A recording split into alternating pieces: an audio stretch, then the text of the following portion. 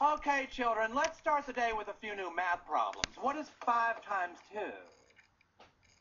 Come on, children, don't be shy. Just give it your best shot. Yes, Clyde. Twelve? Okay, now let's try to get an answer from someone who's not a complete retard. Anyone? Come on, don't be shy. I think I know the answer, Mr. Garrison. Shut up, fat boy! Hey, don't call me fat, you fucking Jew! Eric, did you just say the F word? Jew?